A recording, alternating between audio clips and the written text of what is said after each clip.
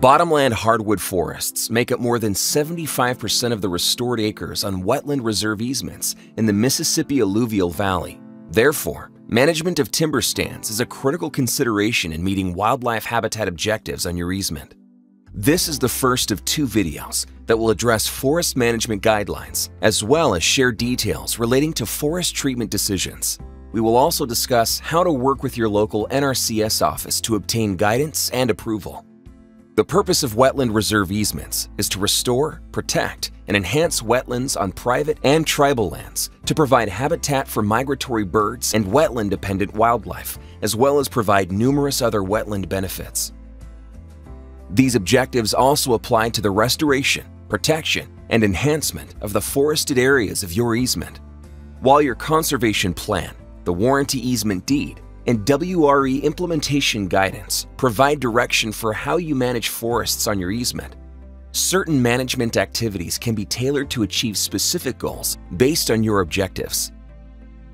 Although NRCS policies and program guidelines are structured to achieve WRE objectives, it's also important for you to evaluate your own wildlife habitat objectives. Developing clear and well-defined objectives specific to your easement are key to meeting your own goals, the goals of the WRE program, and establishing a successful and effective partnership with your local NRCS office. For us, uh, having quality wildlife on our property, that's the whole objective of buying it, was to be able to have a recreational property to go enjoy.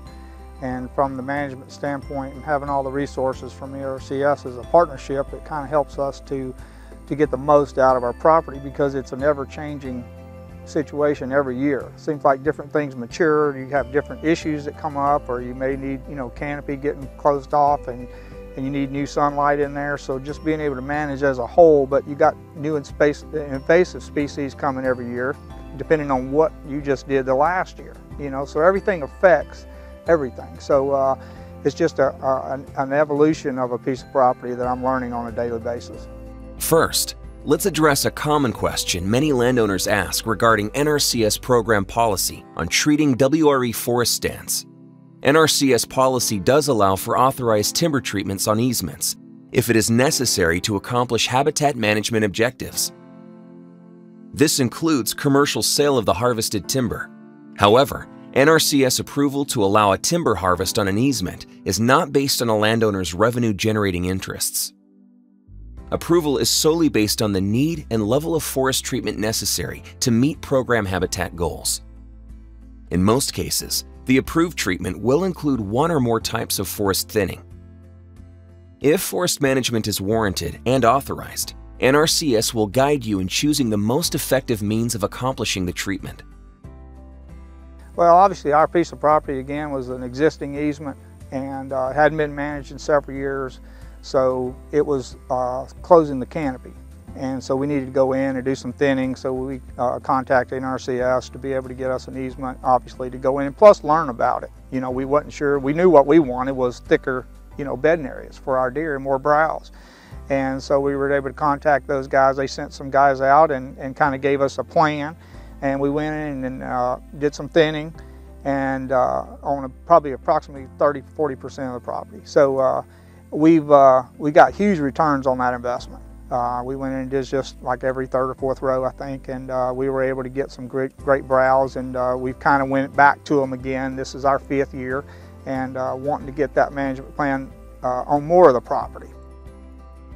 The most common forest types on wetland reserve easements in the Mississippi Alluvial Valley are restored bottomland hardwood plantations. Bottomland hardwood plantations are established on a new easement by planting a diversity of native trees within agricultural fields enrolled in the program. So we're in a six-year-old bottomland hardwood plantation on a WRP. Um, one of the common misconceptions that we have is when trees get this size, they're very hard to see from driving down adjacent turn rows or roads because you have a lot of this shrub scrub stuff like this eastern baccharis. Um, but what you'll start to see probably between year six and year 10, or depending on soil type, may go a little longer, is they'll start to emerge out of the shrub scrub, as you can see behind me. In this eastern baccharis and these other shrubs, that's typically a temporary type tree. they will become shaded out and they'll typically take care of themselves by dying off as these stands get older.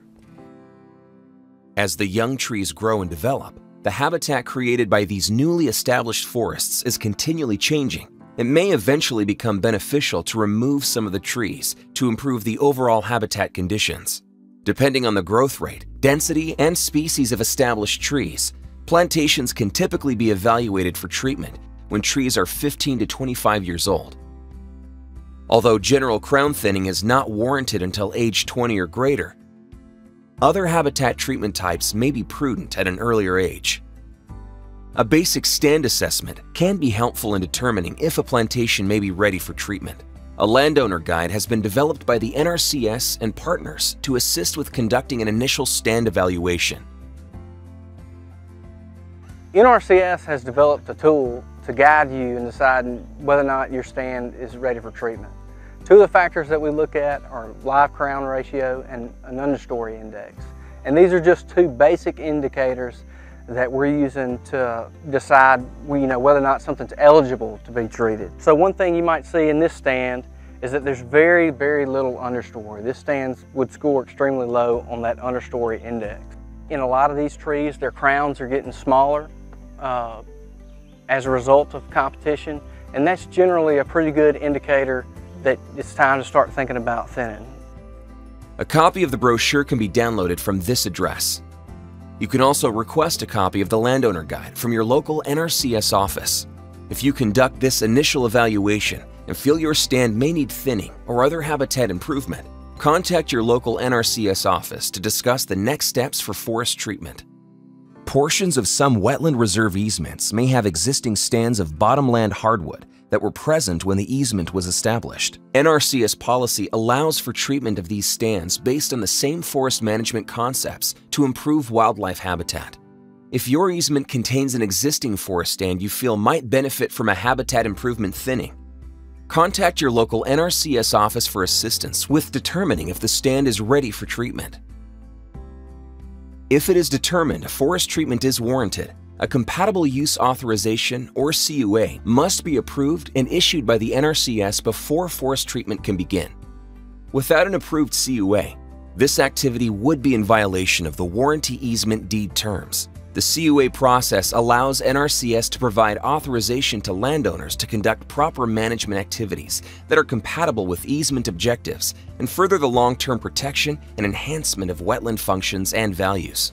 Managing your property is an excellent way to, to improve wildlife habitat, uh, to improve the timber quality and the health of the forest. As forests age and, and get older, you need to keep the density of the trees on an acre because the acres can only sustain so many. And if it gets overcrowded, then trees start getting unhealthy. And uh, when they get unhealthy, that opens them up for disease, insects, other things. So keeping a good density in your forest for the timber side is a real plus. On the other side is we can manipulate that trees to get sunlight to the ground to improve our wildlife habitat. Forages and the food sources available uh, for most animals is down here. Uh, for parts of the year, the mast crop is good, uh, but for the year-round uh, quality of food that animals need, there needs to be sunlight in here. So once you have a wetland reserve easement, you'll have the terms of the easement, and in that warranty easement deed, there are a lot of activities that are prohibited, and that's the reason that we have the process, the flexibility within the program to authorize and issue a compatible use authorization. So even though a lot of the activities that you may want to do are prohibited in the deed, the, the compatible use authorization gives you the authority to conduct those activities. So we really do encourage our landowners to have active management. Not every landowner is able to manage as intensively as their neighbor or some of the other landowners, and that provides a lot of diversity across all the easements to the program. But we do encourage the management, and NRCS will work with you along the way to just to, to plan and prescribe the best management activities that can give you the best habitat on your easement. NRCS encourages landowner partnership and engagement in easement management through the CUA process. A CUA specifically defines the activity, method, frequency, timing, intensity, and duration of the treatment operations. An approved forest management plan specifically addressing these components is also required and will become part of the CUA. Key elements for developing a successful management plan are stand evaluation and planning assistance from a qualified forester, wildlife biologist, or NRCS technical specialist. To ensure proper stand assessment and planning criteria are used, it is essential to coordinate with NRCS early in this process if you are using a non-NRCS forester or a wildlife biologist. Contact your local NRCS office for assistance with developing a forest management plan and requesting a CUA. For more information or assistance with wetland reserve easements or to obtain compatible use authorizations, contact your local USDA Service Center. Wetland Reserve Management videos were developed by NRCS and the Tri-State Conservation Partnership